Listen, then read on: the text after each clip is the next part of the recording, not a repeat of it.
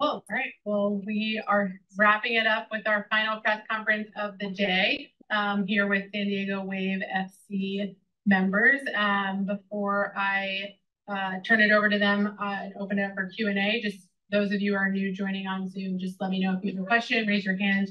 Um, I will call on you. We do have some folks in the room um, as well, but we're here with head coach Casey Stoney, goalkeeper Kailen Sheridan, and midfielder Savannah McCaskill. Um, I guess, Casey, just to kick us off, obviously, coming off of last season, top of the league um, in the regular season, we're now in this new format of a Challenge Cup. Um, just kind of some of the energy and, and feelings around the team heading into the new season starting tomorrow. Yeah, I think the overall feeling is like excitement and anticipation to start. Um, obviously, we've had quite a few players away with international duty for long periods, but everyone's back now.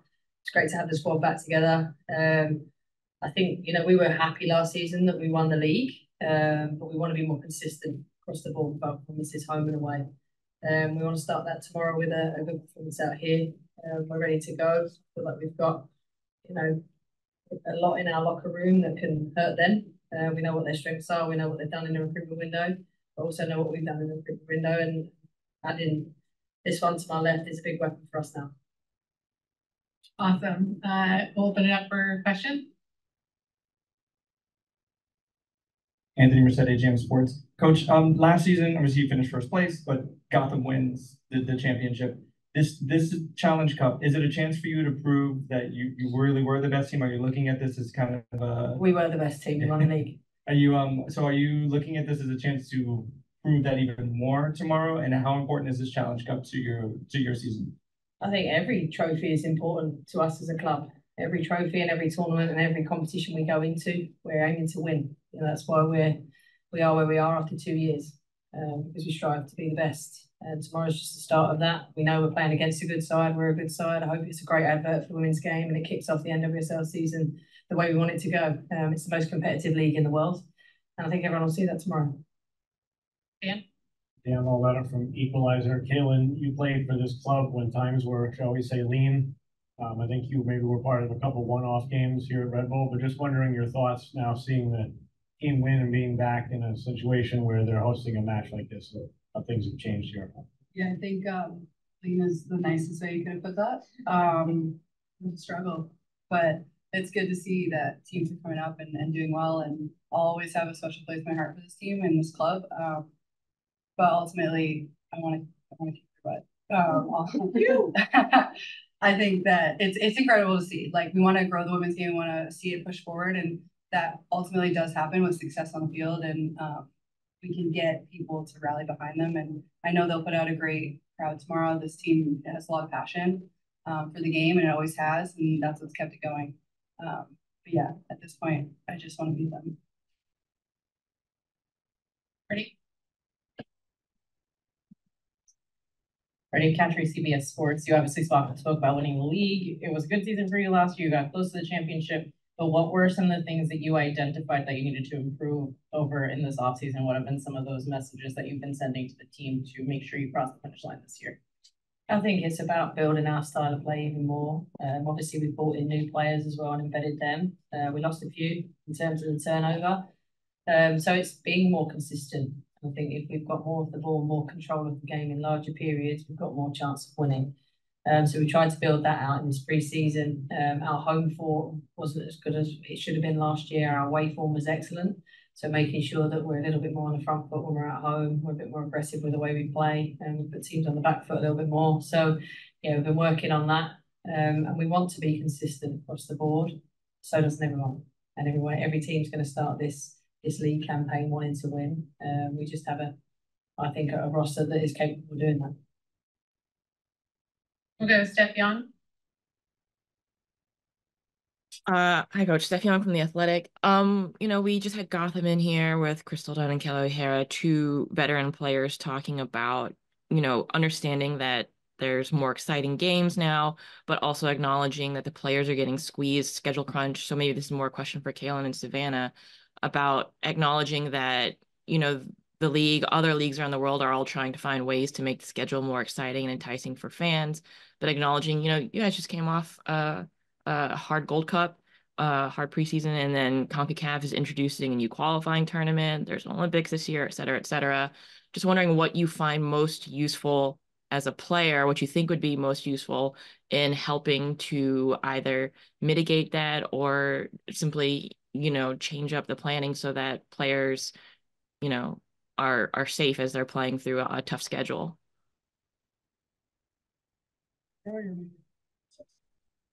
Um, I think the first thing that we want to look at is we got back last week and we've had to fly across the country, which is basically all of Europe, to get to this game to start off the league.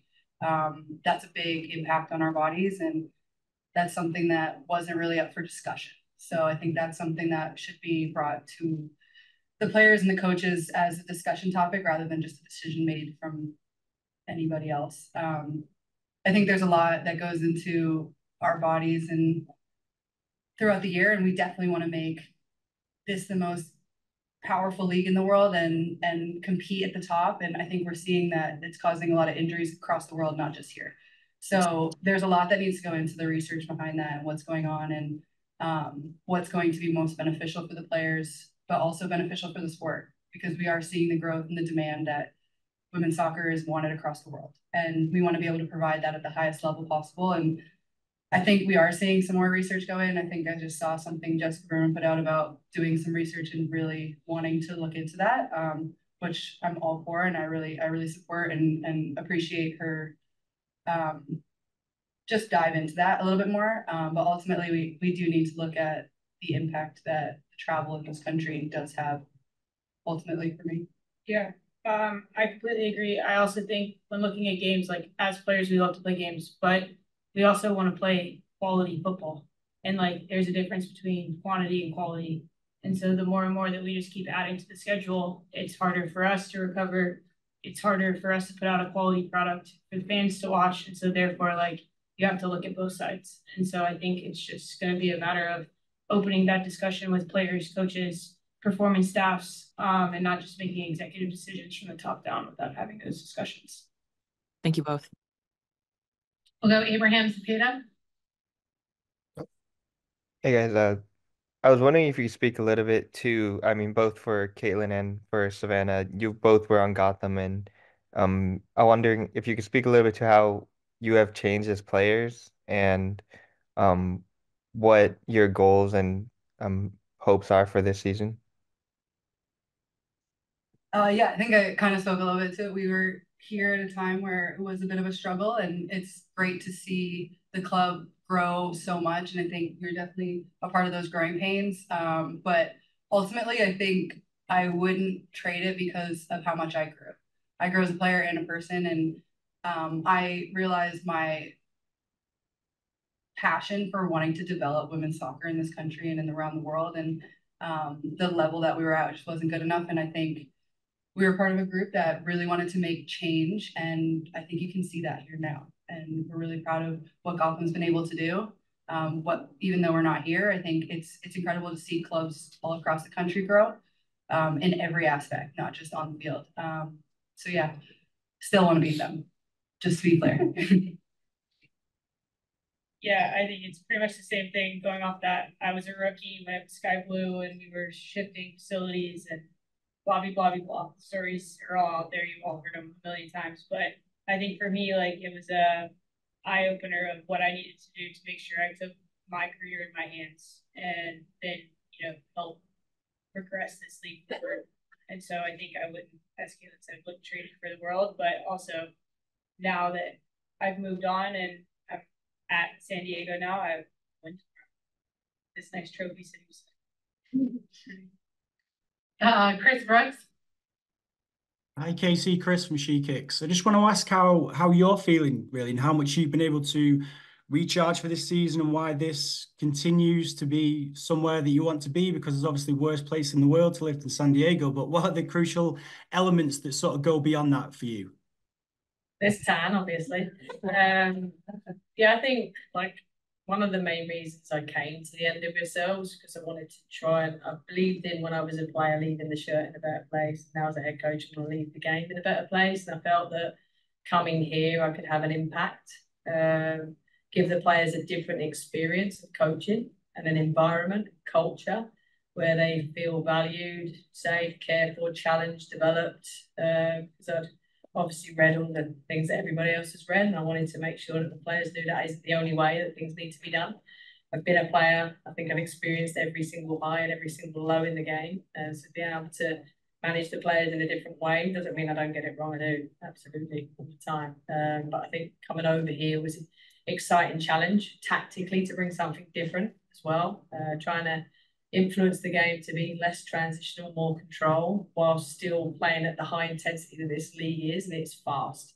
Uh, managed in England, this is a lot faster, a lot more intense, and going back on what the players were saying about the schedule, we want to keep that intensity. We have to look after the players. We have to look after their bodies. Um, so, you know, I'm a, a, big advocate for the players. I think the game is about the players. Without the players, we don't have a game. So I came here to, to try and make a difference. I think this league is the most good one it is. Look at the, the league last season, how many teams could still qualify for the playoffs on the last day. That doesn't happen in any country. You've got two or three teams fighting it out. So I think it tests you as a coach, it tests you as a manager every single week. So find those fine margins and how you can win.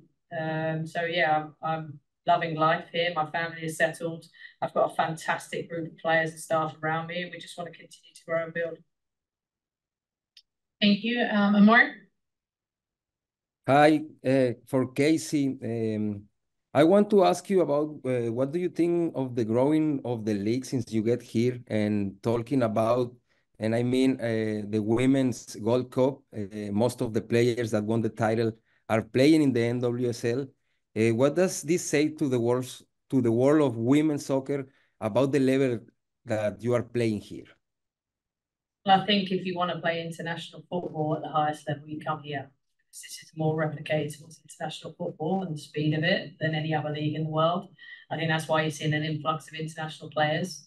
I think there's quality players coming into the leagues, quality players already in the league, and it's going to continue to grow. Uh, we want to make it the best league in the world. Uh, I think stadiums, we have probably the most consistent in terms of the best stadiums in the in the world, the crowds that we get. I can only speak personally at San Diego, but I was at Manchester United. That's the biggest brand in the world. We did not get those sort of fans in that crowd. So, you know, and hopefully we'll have a fantastic crowd here tomorrow. And it's going to continue to grow. The first women's football, football in this country, um, it's great, and the fan base is great, and it's going to continue to grow. And it's uh, for my job, it's about the advert we put out on the field to make sure people want to come, keep paying to watch, and keep coming back, and, and become a fan for life. Anyone else? Dan? Kailen, just a quick follow-up. When you said that the players weren't really given an option about coming here, did you mean the extra game on the schedule as the Challenge Cup or the fact that you had to come all the way out here to play it? Uh, I mean, in general, just the location of the game itself. I think that was just decided without, as I'm pretty sure, any um, intervention from anybody on San Diego at least. Not the game itself. We're really proud to be in the Challenge Cup and um, we know we're going to come out on top. So we want to show what we were capable of last year. And although the teams are a little different on both sides, um, I still think we have a better side. You say assume you were not consulted either on that. Yeah. This is just a travel question. Uh, Liz Robbins, Prudence Writing. Uh, Kailen, uh, and, and Too, I mean, you are still flying commercial. Obviously, that is something that has been talked about. Do you at least get premium upgrades? Yeah. Do you, do you get space? We chartered here. We did have the opportunity to charter here, so that was very helpful to this travel. Um, we don't sometimes get that upgrade. We get nice little window seats here if we want it. Um, And how hard, that's still up to the league to make, again, the players who have to put out an incredible performance to make sure that we get fans coming in and out and have the best best league in the world. Um, we're going on the biggest flights of any league, and in order to do that, sometimes we have to connect. Sometimes we have to sit in the back of the plane. Um, so the league gets to make that decision, and I hope that going forward, that decision gets changed because it ultimately it has a big impact. And we're really thankful that we had the opportunity to charter here. It made the trip a lot more beneficial and, and easier on our legs. And was that a team decision or is that a, a league decision for you to take a charter plane? It was the league's decision, and just on that, obviously, I know I've been part of meetings recently. The league is looking to add more legs to charter flights, so teams do have that option. So I do think in terms of player welfare, we are moving in the right direction. We've still got some way to go, but I think we are progressive, which I think from a league perspective is a real positive for the players.